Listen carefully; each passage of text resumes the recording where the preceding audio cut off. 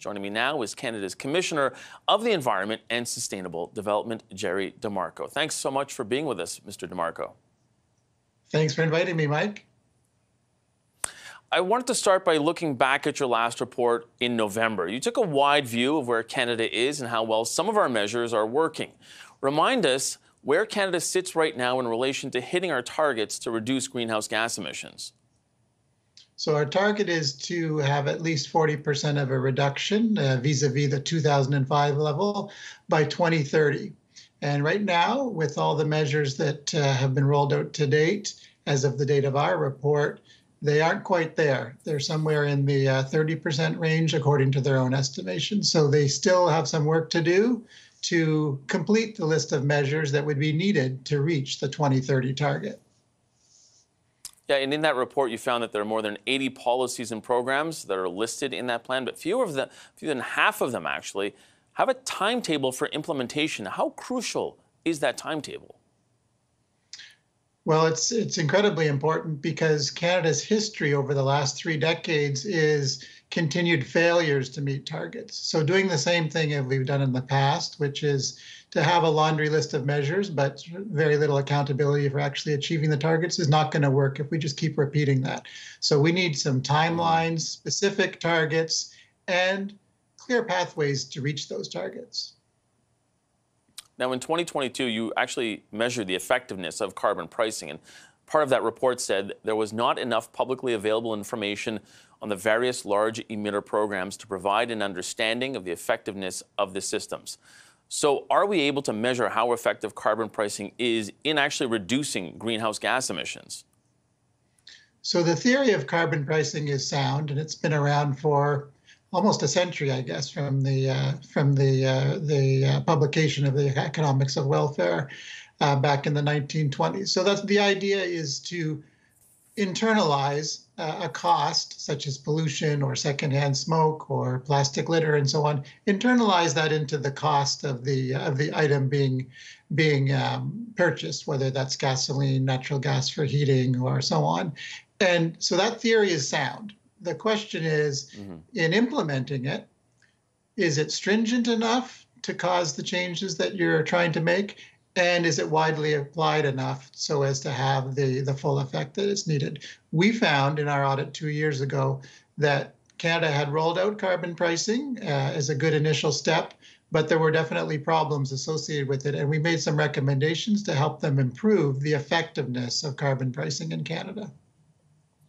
Have you seen whether or not they've acted on those recommendations yet? They've done some uh, actions to uh, to uh, bring in uh, improvements to the uh, to the carbon pricing system. They also promised that several of the other ones would only be dealt with at the next review of the carbon pricing system in 2026. So we'll have to wait and see how they do then.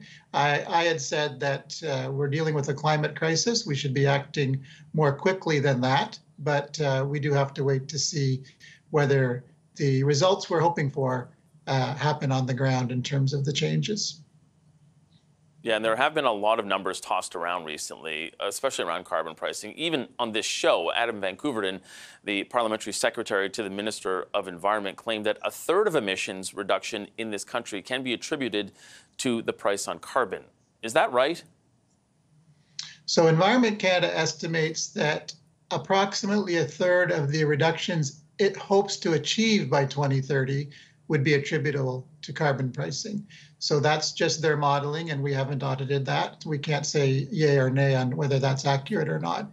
We do not know whether carbon pricing will uh, will remain as is.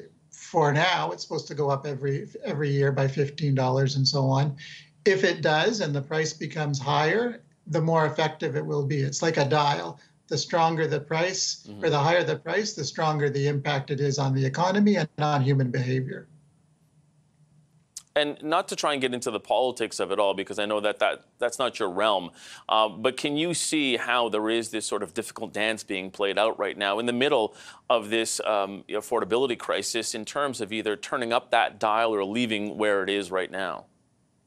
Yeah, absolutely. In fact, uh, in one of my first reports as commissioner a few years ago called Lessons Learned on Climate Change, we talked about how difficult it is to uh, manage, you know, a long-term crisis like uh, climate change or biodiversity, for that matter, within the confines of a system that favors short-term thinking. And politics definitely favors short-term thinking. So that lesson that we talked about in terms of taking an intergenerational view and looking after not only our children but the, our children's children, that's difficult to do in a political uh, forum that looks at what's happening today or maybe tomorrow or maybe the latest the next election. So it is a challenge to to marry good policy with with the possible um, outcomes that are available in politics Yeah, especially when those politicians have to go to the polls about every four years or so uh, to sort of renew that mandate. Uh, I know you spoke a little bit of, about, about this at the beginning of our conversation here, but the price on pollution and a price on pollution really is uh, what some politicians see as a key to tackling climate change. Is it the cornerstone that it should be of what Canada is saying is, is their, you know, their environmental policy? Should it be that sort of untouchable thing um, that this government seems to make it to want it to be? Well, it is it is considered an effective mechanism, and that's not, not just me saying that. That's the Supreme Court of Canada, the OECD, um, the International Monetary Fund, and so on. Everyone recognizes that an economic tool like cost internalization, or in this case, a carbon levy, is an efficient way of getting to the outcome that uh, that you're seeking. But it does have this difficulty of it sometimes being politically unpalatable.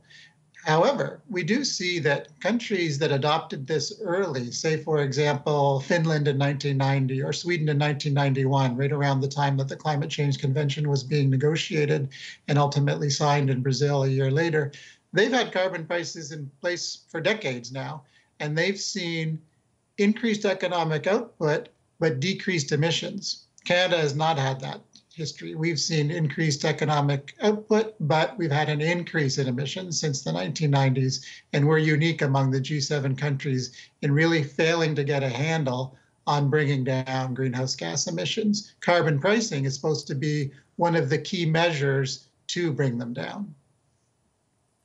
Uh, just just before I let you go, I wanted to ask you about that. So why is it that Canada hasn't seen that, excuse me, that benefit that Finland has or other countries in sort of that uh, cause and effect of uh, you know increasing the price on pollution and also seeing that output uh, and the and the reduction of emissions? Why has that not followed so far?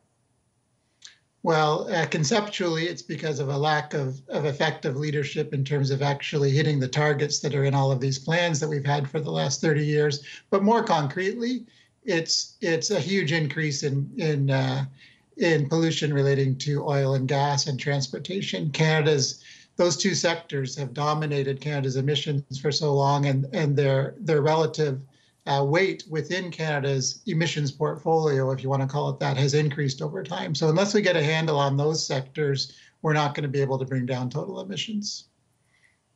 Okay, we're going to have to leave it there for today. Canada's Commissioner of the Environment and Sustainable Development, Jerry DeMarco, thanks so much for being with us today.